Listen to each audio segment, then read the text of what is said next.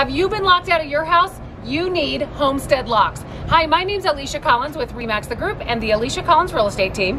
And I'm Eric Ramsey. I'm the owner of Homestead Locks here in Casper, Wyoming. He will help you get in your house, in your car, In your business, in your business, whatever you need. What are your hours?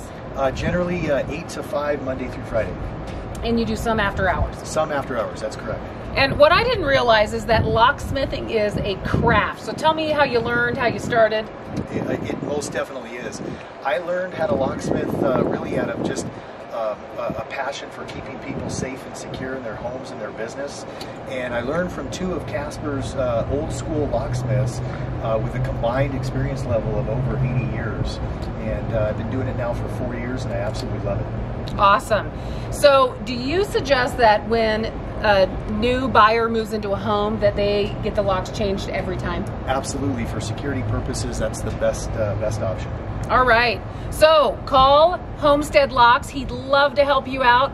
Remember, we want you to love where you live. Make it a great home buying and selling day. See you soon. Thank you.